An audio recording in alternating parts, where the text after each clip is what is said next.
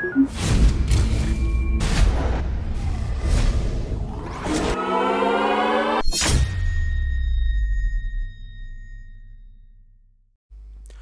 السلام عليكم. مرحبا بكم في قناة Go Time المتخصصة بالسكوتر الكهربائي.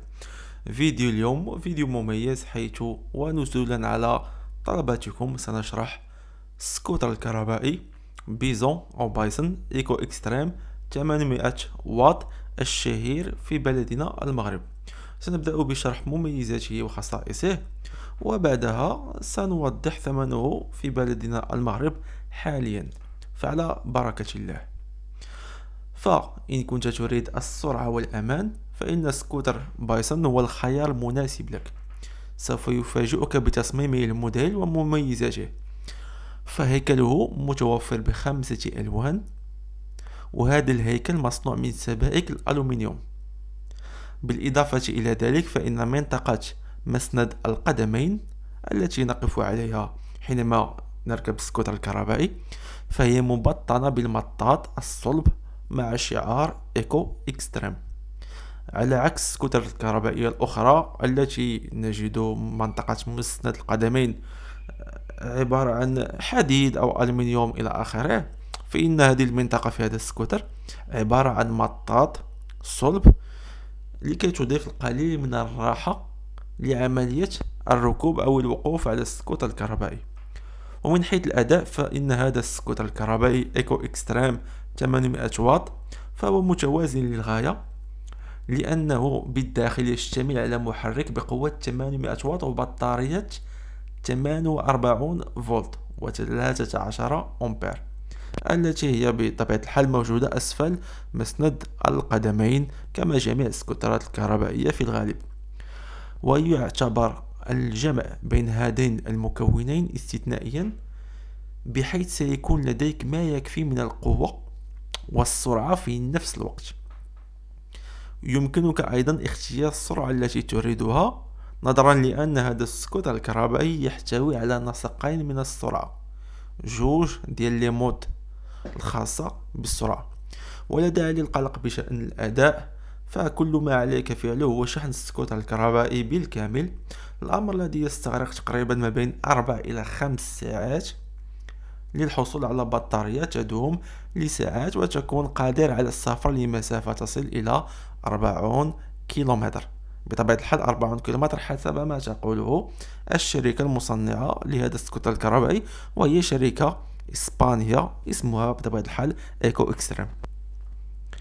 وهذا السكوتر الكهربائي لديه إطارات أو عجلات مصنوعة من المطاط الصلب بقياس عشر بوصات وهذه الإطارات عبارة عن إطارات tubeless مقاومة للثقوب ومحمية أيضا بوقيات طين لتجنب رشات ورذاذ المياه.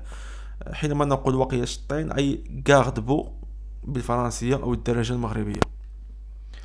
ويمتاز هذا السكوتر الكهربائي بنظام تعليق مزدوج أي آه، مضاد الصدمات أو كما نقول l'amortisseur لكي تتمكن من الاستمتاع بهذا السكوتر الكهربائي على التضاريس المختلطة آه، كالطريق العادية أو إذا كانت هناك حفر في الطريق إلى آخره فلن تحس بها كثيرا.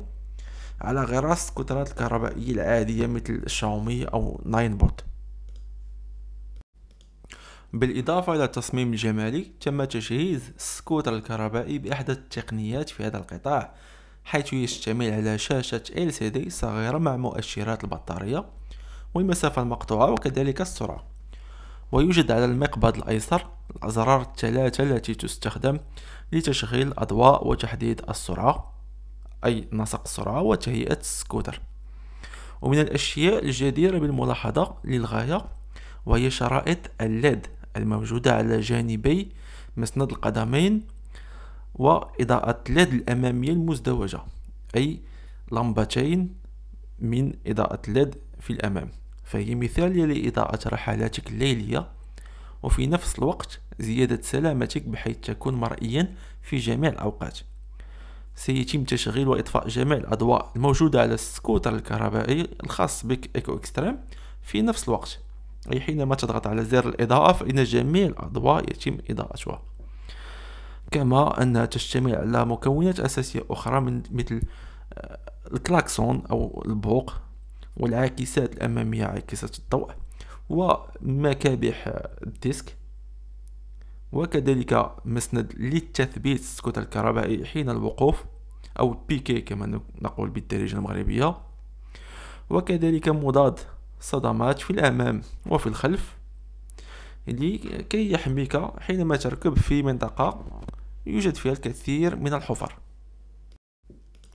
من ناحية أخرى فإن نظام الطي أي البلياج الخاص بالسكوت الكهربائي فهو أفضل بحيث يحتوي على قفل سريع وسهل فبهذه الطريقة يمكنك تخزين السكوتر الكهربائي في أي ركن من أركان المنزل ونقلها إلى كل مكان.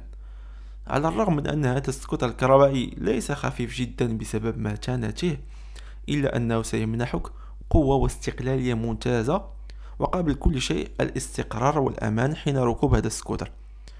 وهو يحتوي على مفتاح إشعال مزدوج والأسلاك الموجودة في الهيكل محمية بالقماش لتوفير حماية أفضل للأسلاك الكهربائية. فباختصار يحتفظ هذا السكوتر الكهربائي EcoXtrem Bison 800 واط على مكونات عالية الجودة توفر الأمان اللازم لتتمكن من التنقل فهو سيصبح حليفك الأكبر في حياتك اليومية ويتكيف مع الاحتياجات الخاصة بك. وبالنسبة لخصائص هذا السكوتر الكهربائي فإن السرعة القصوى الخاصة به محدودة في 25 كم في الساعة. لكن إذا ما تمت عملية التهكير أو الفلاش أو ال débridage فإنها قد تصل إلى 45 أو إلى 49 على الأكثر.